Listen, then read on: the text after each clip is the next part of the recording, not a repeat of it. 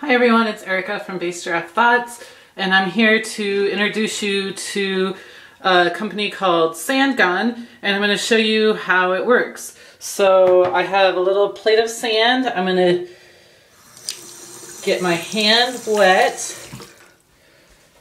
Then I'm going to get the sand all over it like you do when you're at the beach and you get sand in your feet and your toes.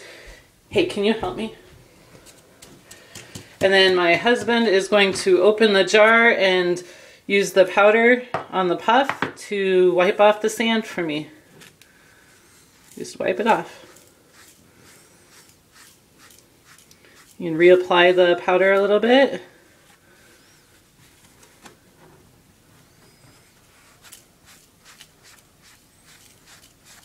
Okay, between my fingers.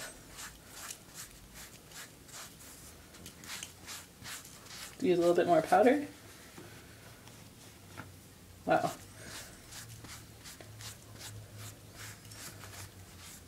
And it'll go good with that for now because I can't believe, actually get my thumb.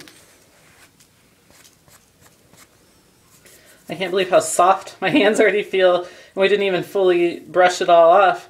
Usually after you have your sand on your hand, on your feet, you get like the, even after you wipe it off, you still have that scratchy feeling to it. This actually feels really soft, like I just put lotion on. I really like this. Awesome. Thank you.